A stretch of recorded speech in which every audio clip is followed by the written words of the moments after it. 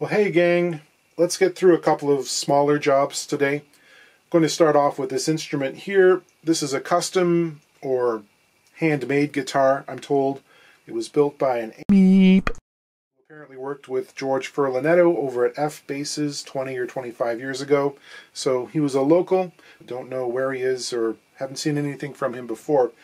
This is in for a setup, but to be honest, I'm going to spend a lot of time cleaning it because it's really filthy. The owner has woodworking experience and he did a repair on the broken headstock here using epoxy. But he'd like me to see if I can hide his tracks a little bit with some finish touch-up. You guys know I try and stay away from little finish touch-ups unless it's part of a much bigger repair. Um, people will call me up and they'll say, I've got a scratch on my Les Paul. And I'm like, yep, that'll happen. Unless you're going to treat it like a classical player, at least some of them, Keep it in the case. Never ever put it on a stand. Don't wear a belt buckle. Don't have a zipper on your hoodie. Keep your forearm in a sleeve every time you play it. It's going to get dinged. It's going to wear. It's that's normal. Scratches are normal. The problem is the people who can't accept a little scratch on their guitar, they're the ones, you know, you'll spend hours agonizing over it trying to make it look decent. And the other ones well, ooh, I can still see it there. And it's like, yes, yes. There's no way for us to turn back time to a period before you damaged your guitar. So it's really hard to get paid enough to make it worthwhile in a lot of cases. This time, this is minor enough. I've already got some paint mixed up for another job that should be close, so you know we'll do that. Apparently it has not been played very much in those intervening 20 years, and I believe it. Those are probably the original strings, and that is just filthy. Um, I want to take the bar off, but I can't because it keeps running into the top here. And no, I'm going to have to loosen the springs on the inside before I try and take that off. I better plug it in to make sure it creates sound.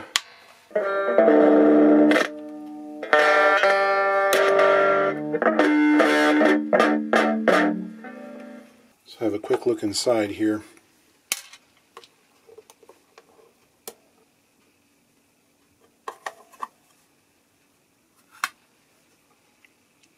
Oh yeah.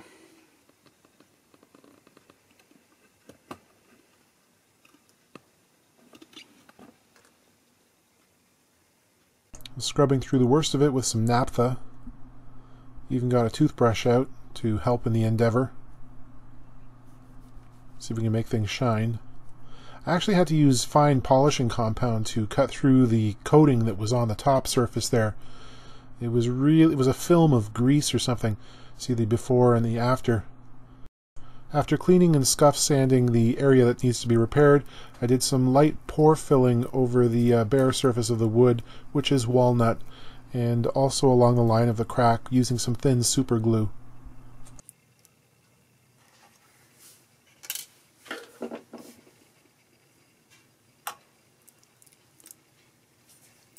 Yeah. Don't glue the headstock cover to the guitar.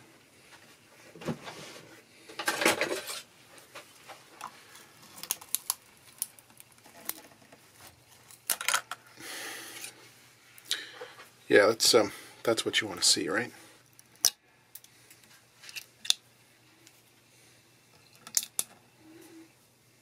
That truss rod nut is well and truly and probably forever ensconced in that nice bath of super hard epoxy. You know, the neck is going to be what the neck's going to be. We'll set it up as good as it can be set up, but didn't bargain on that.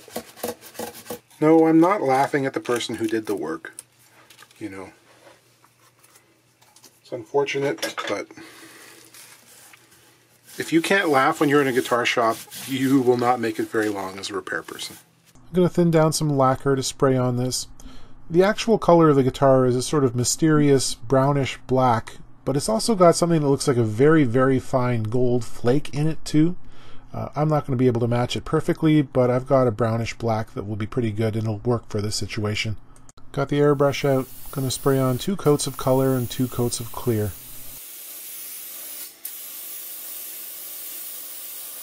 Okay, up next we have a tenor banjo from the Premier Company. It's of indeterminate age, 30s, 40s, 50s, who knows. It's got a skin head. The pot's a little bit deformed at this point, and you can see that the head has been pulled down farther on the neck side of the body than on the tail. That can be difficult to correct at this stage. Single dowel tension rod. Okay, checking the action here uh, at the 12th fret. Some people measure at the body. I always just do the 12th fret. Even missing one of its four strings is uh, just around 10 64ths. I'd much prefer to see 6. And the bridge is virtually non-existent. New ones usually have a 5 8 inch bridge. Some of the old ones, half inch is typical. This guy here is just over a quarter of an inch. So, nothing there. So we're going to have to tilt the neck back to lower the action and hopefully make a standard bridge work. Looking at the square dowel here, it's got a simple screw at the tail end. We might be able to snug that up enough to bring the walls of the pot together a bit and bring back some of that neck angle. On the neck side, you can see there's a little bracket here with a screw that goes through it that bears against a metal plate on top of the dowel.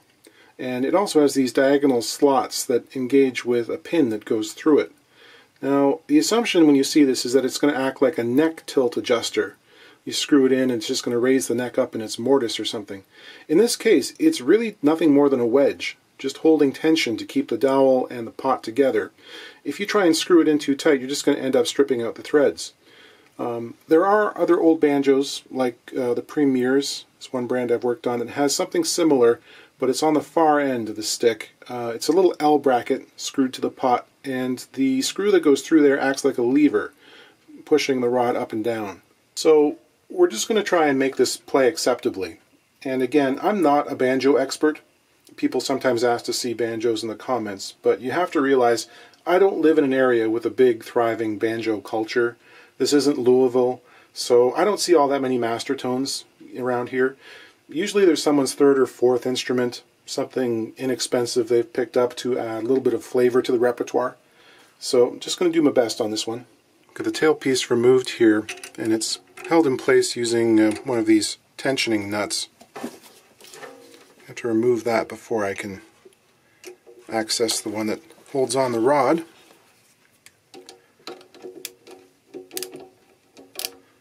If you get involved with banjo repair, there's an awful lot of this. Just hours of turning little nuts and screws.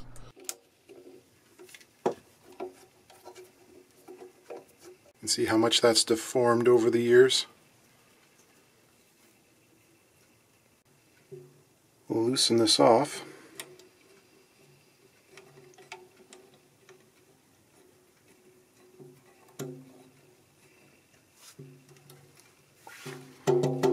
Things a little bit more loose. Ah, you can see that there is a step that's milled into the end of the neck here to accept the hoop and the bead around the end of the um, the head here. Now, in this case, it was up flush against that bead. Um, it can't go any higher. So unless we cut the channel a little bit deeper or reposition this head so that that bead is up higher. And again, on this side of the pot, the hoop was pulled down tighter. It's lower here. You know, in a, a newer banjo, we might get away with it, but I, you know, the idea of trying to reposition this head, um, given its age, I don't know if we would get away with it. It's pretty old.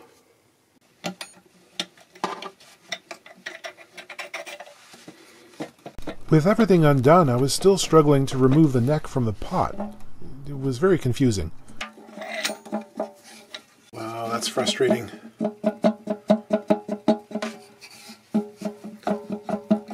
I bet you the threaded rod there at the end has bent over the years due to pressure on it, or the pot itself is warped so much that it has dug into the side of the hole. The hole was not very much bigger than the, the rod, obviously, and I might have to pound it out, which is something that strikes fear in my heart. maybe a wedge. How can it be this tight? I guess there was no way around it. At some point today I was going to have to be excavating around a captured screw, be it banjo or truss rod. I decided to carefully drill it out using a plug cutter.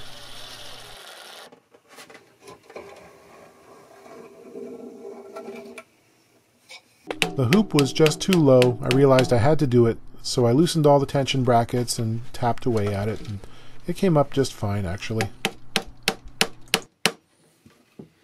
There was a little step left over from where they milled the end of the neck, so I decided to carefully pare that down so that it would be flush with the top of the dowel stick there. That would give us a little bit more clearance and I could raise the neck up another, oh, 16th or 3 seconds of an inch.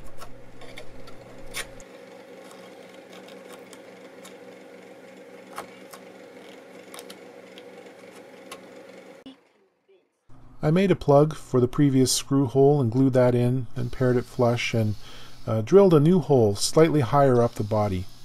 So I reinstalled the neck in its new higher position there and as I was putting on that wedge bracket I realized the screw had to go in further but it was being prevented because it was in fact very badly stripped out. Uh, I had one that would work but it was much too long so I knew I would have to shorten it and similarly, the bracket screw on the end that holds on the tailpiece, the nut just wouldn't pass through that um, bent portion, so out came the Dremel. The fret ends were protruding and pretty sharp, so I cleaned those up. And the top surface of the frets had been filed but never smoothed down, so, you know, I cleaned those up as well. Put tape on the board, but I realized that mm, some of the paint was going to come off. Uh, I could live with that because uh, as I was cleaning it, so did the Sharpie that had been used to touch up the, the playware. I dyed everything with black India ink, which is much nicer. It's a better looking color. I've dealt with this one before. This is one of the worst tailpiece designs of all time.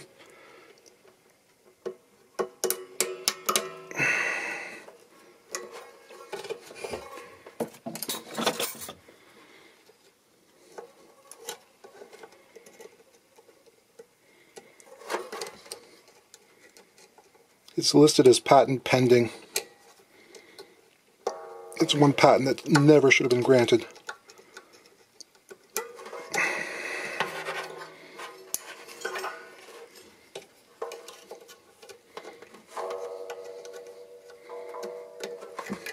Despite the playware on this instrument, these nut slots are way high.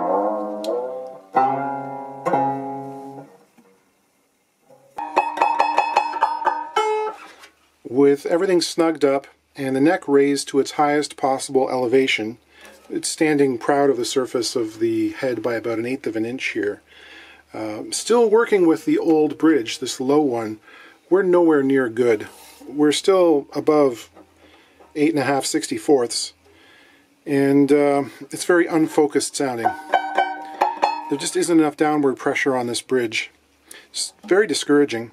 Um, this pot has deformed over time. It's folded in on itself, so the top rim is moved, pushed inwards, and the bottom is moved outwards, which is the exact opposite to what we need in this situation. Uh, thinking about it, there is, at the end of the dowel rod, a little washer between it and the side of the pot.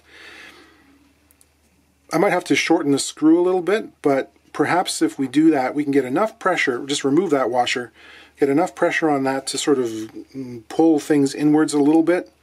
It's not located in the, the best spot for this because it's like right in the midpoint of the pot. Um, we'll see what it does. I suppose the other thing one could do if one had lots of time and money is come up with a coordinator rod sort of system with a turnbuckle that would um, be closer to the back edge of the pot. Turn that up and tighten it um, the other thing that we can do is put a couple of little shims down between the uh, end of the neck and the surface of the pot up here. Uh, try to kick it back a little bit. Doing an actual neck reset on this, you know, cutting and scribing things, that's probably more than we have in the budget for this one. I'm kind of running out of my time. So, you know, I'll do these methods and then we'll see where we're at. We might not be able to use the standard bridge on this thing at all. Okay, with the washer removed, we're down kind of respectable um, on the low bridge. Not great, but sort of what you would expect to find in a banjo of this vintage and this condition. So um, I think I should try and shim and see what happens then. Maybe we can kick this back a little further. I'm cutting some birch veneer that's about a sixteenth of an inch thick. And I'm installing that actually between the tone ring and the end of the neck.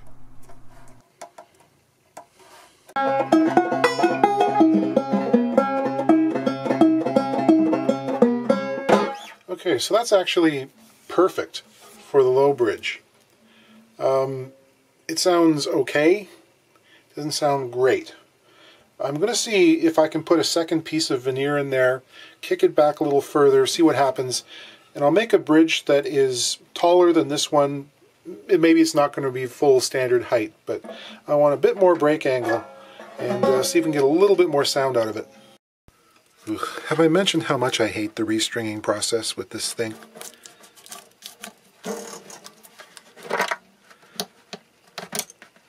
Alright, with that second shim, the strings are sitting right on top of the frets. So that means if I make the bridge about 5 seconds of an inch taller than this one here, we'll be right about where we want to be, I think.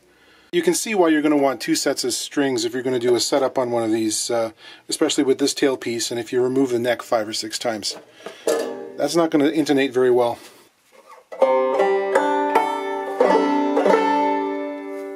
Okay, the tuners on this thing are really, really bad. Old friction tuners. There's nothing like them. Um, the owner has ordered some new ones. They'll take a little time to come in, so this is as far as I'm going to go with this one today. It's back in one piece. The action is nice. It's playable. Probably plays better than at any point in its history, to be honest.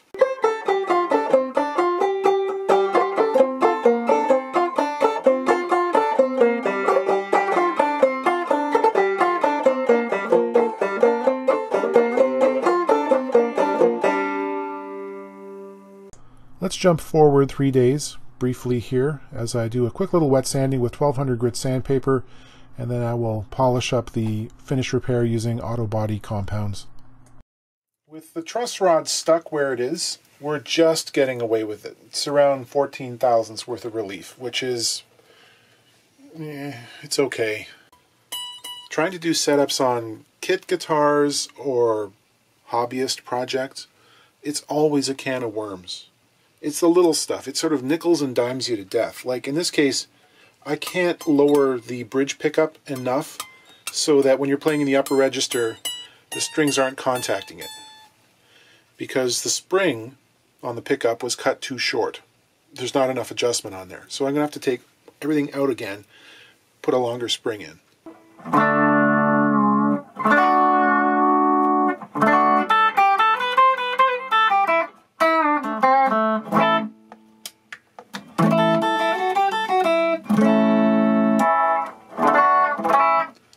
Nice.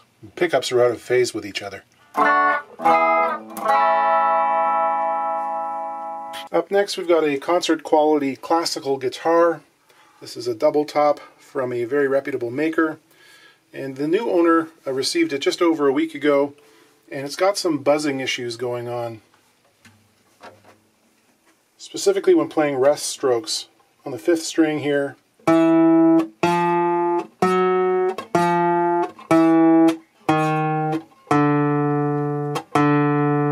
Fifth fret is fine. Sixth fret, there's a lisp. Seven, eight, nine, ten, it starts to disappear. Eleven, it's almost gone. Twelve, it's fine. So I've been asked to do a little assessment here. This guitar came with two different saddles, and the owner switched them, um, assuming that maybe the buzz was coming from the saddle, but no. Um, action seems reasonable. I'm going to check out the neck relief here. I've got a straight edge right on top of the frets. And we're around mm, 8 or 9 thousandths in the center of the board. So there's some relief there. Should be okay.